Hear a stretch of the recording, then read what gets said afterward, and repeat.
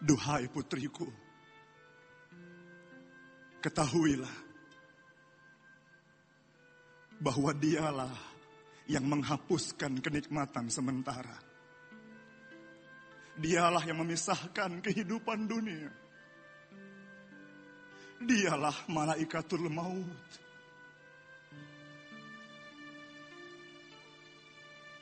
Meledak tangisan Fatimah mendengar penjelasan Nabi Muhammad. Malaikatul maut pun semakin mendekat ke arah baginda Nabi Muhammad. Kemudian Nabi Muhammad bertanya, di mana malaikat Jibril? Kenapa Jibril tak datang bersamamu? Maka dipanggillah Jibril yang sebelumnya telah menunggu Nabi Muhammad di pintu langit. Nabi Muhammad bertanya kepada malaikat Jibril, "Wahai Jibril, ceritakan apa hakku di hadapan Allah kelak?" Jangan engkau bimbang, duhai kekasih Allah. Pintu langit telah terbuka luas untukmu. Malaikat telah menunggu kehadiran rohmu. Pintu surga terbuka dengan lebar untukmu, duhai kekasih Allah. Tapi masih terlihat kecemasan di wajah Nabi Muhammad Sallallahu Alaihi Wasallam. Wahai Jibril, bagaimana nasib umatku sepeninggalanku kelak? Duhai kekasih Allah, jawab Jibril. Jangan kau bimbang, duhai kekasih Allah. Aku mendengar Allah yang berfirman. Aku haramkan surga untuk sesiapapun. Sebelum umat Nabi Muhammad memasukinya.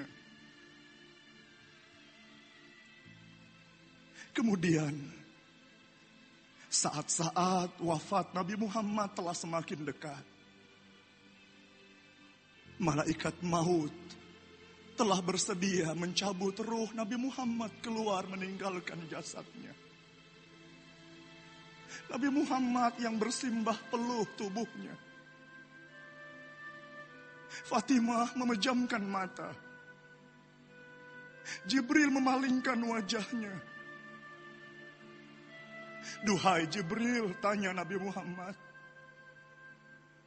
Jijikah engkau melihatku Jibril sehingga kau palingkan wajahmu? Duhai kekasih Allah. Siapa yang mampu menanggung?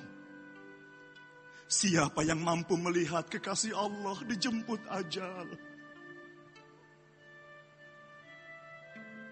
Tubuh Nabi Muhammad bergetar. Wajahnya sudah begitu pucat.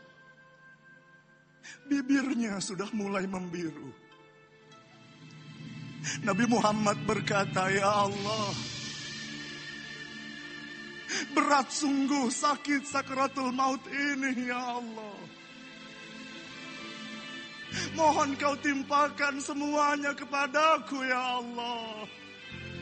Tapi jangan kau timpakan kepada umat-umatku ya Allah.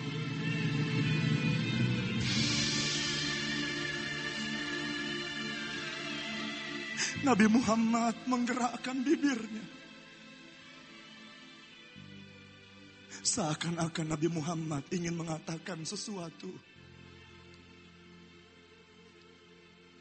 Aisyah mendekat ke arah bibir baginda Nabi Muhammad. Terdengarlah Nabi Muhammad yang berkata dengan lemah. Berbisik. Ummati. Ummati. Umatku. Umatku. Bagaimana nasib umatku? La ilaha illallah. Ila rafiqil a'la.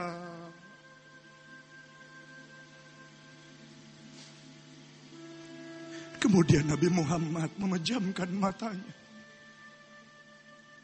Merapatkan bibirnya. Menghembuskan nafas terakhirnya.